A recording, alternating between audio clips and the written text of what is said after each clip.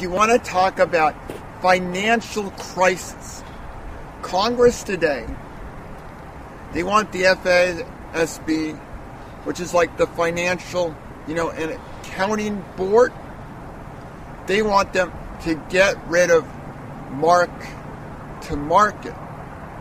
And what that means, if you want to talk about financial crisis, Congress today, they want the FA.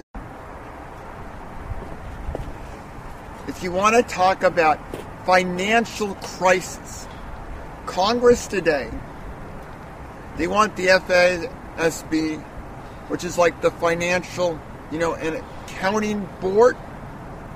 They want them to get rid of mark to market.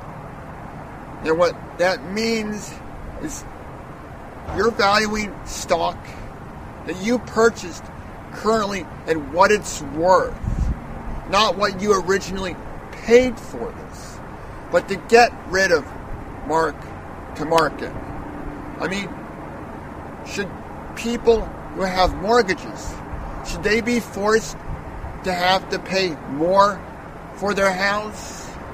Should you force people to the point where they can't pay for their mortgage and they have to then foreclose on their house?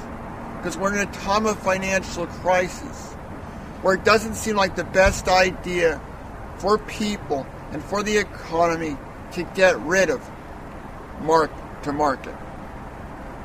Now, Congress wants the FASB to get rid of mark to market. Also thinking there should just be a federal accounting board. But why don't we have some government?